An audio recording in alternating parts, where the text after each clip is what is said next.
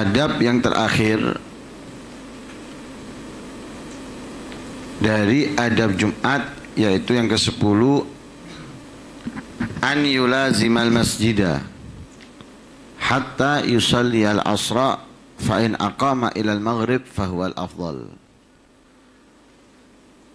Setelah sholat hendaknya ia melazimi masjid atau terus berada di masjid sampai sholat asar atau sampai maghrib dan itu lebih afdol.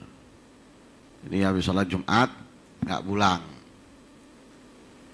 Minimal sampai asar dan lebih afdolnya sampai maghrib. Dikatakan Man shallal asra fil jami' kana lahu thawabu hajjah Wa man shallal maghriba falahu thawabu umrah.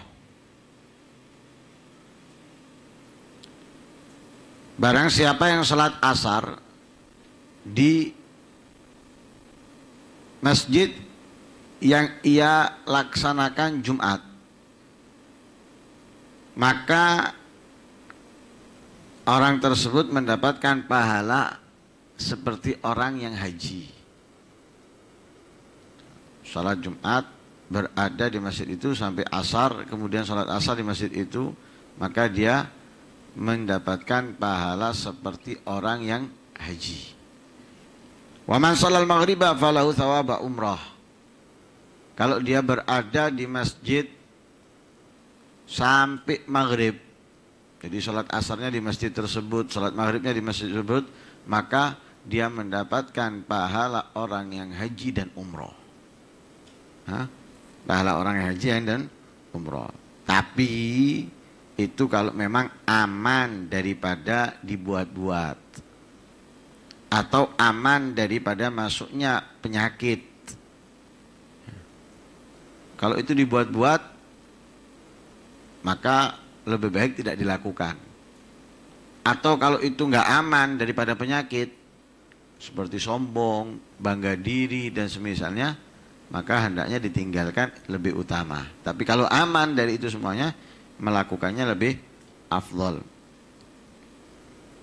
Nah, kalau nggak aman daripada itu semuanya, ya afdol dia pulang ke rumahnya dengan berzikir kepada Allah, ya, bertafakur, bersyukur, takut dan yang lain sebagainya. Kemudian ketika ada di masjid,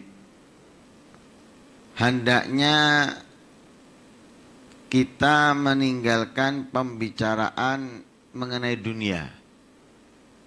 Jadi jangan berbicara tentang dunia di dalam masjid. Sekalipun sedikit atau kecil. Nabi Shallallahu Alaihi Wasallam bersabda di dalam hadisnya, Ya tialan zamanun yakunu hadithuhum fi masajidin amra dunyahum laisa lillahi ta'ala fihim hajah fala tujalisuhum. Katanya Rasulullah akan datang satu masa kepada manusia pembicaraan mereka di masjid-masjid mereka adalah urusan dunianya. Dan ini terjadi ya. Apalagi di dalam pencalonan ada mereka yang masuk masjid. Atau membuat acara di masjid. Tapi tujuannya adalah urusan dunianya kampanye. Itu terjadi. Atau bukan mereka kita berada di masjid yang kita bahas adalah toko. Yang kita bahas adalah dagangan barang dan yang lain sebagainya.